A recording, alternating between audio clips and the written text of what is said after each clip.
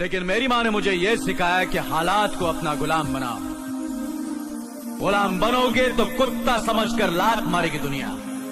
और गुलाम बनाओगे तो शेर समझकर सलाम करेगी। मेरी माँ ने यह भी सिखाया कि खुद ही को कर बुलंद जितना कि हर तकदीर से पहले खुदा खुद बंदे से पूछे बता तेरी रजा क्या?